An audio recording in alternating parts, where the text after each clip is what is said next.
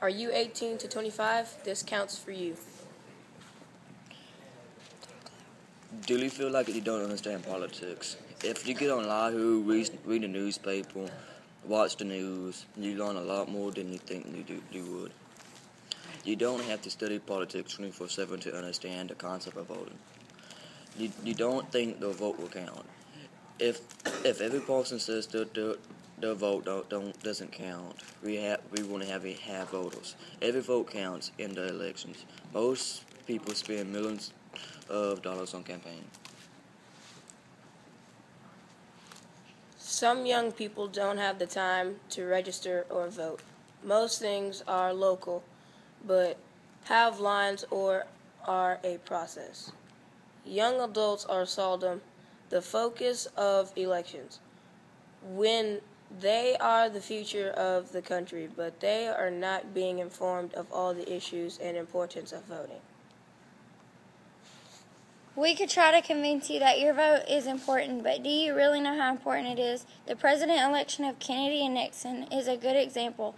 The election was decided by Illinois with an average of only two voters per percent.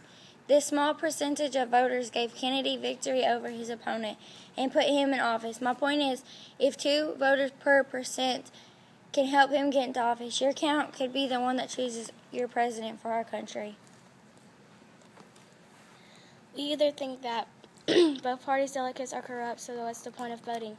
Because voting is any type of election from local to nationwide. Any vote is important.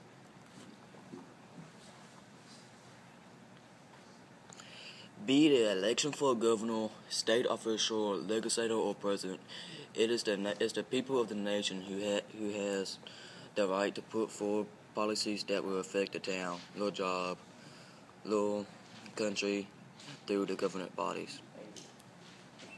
More than half of Americans under 29 picked Obama over Joe McCain, but it's been four years. Obama's historical campaign is becoming just that history.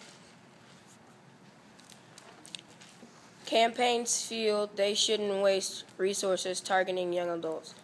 The young is our future. They should not be ignored, and everyone needs to vote.